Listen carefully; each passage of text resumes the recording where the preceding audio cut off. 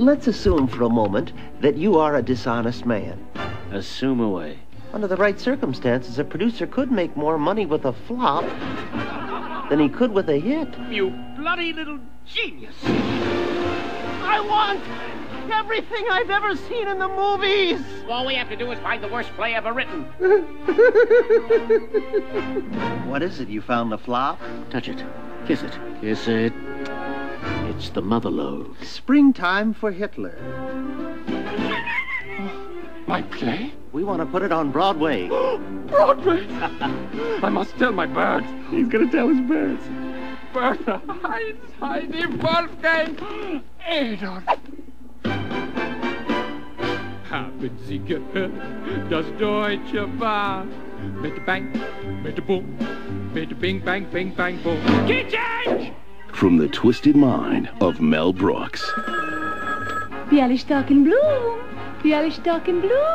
Oh, smart as a whip. We might have a position for you. As a matter of fact, we might have several positions for you.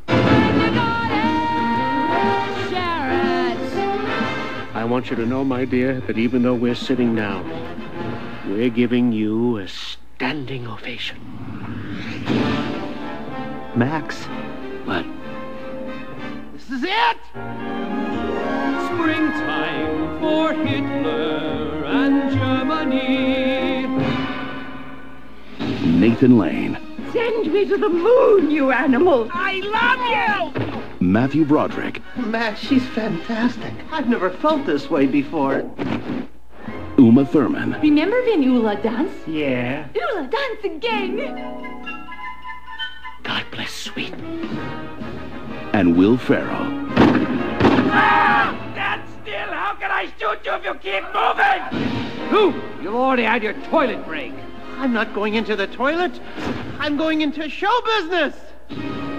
The Producers, directed by Susan Stroman.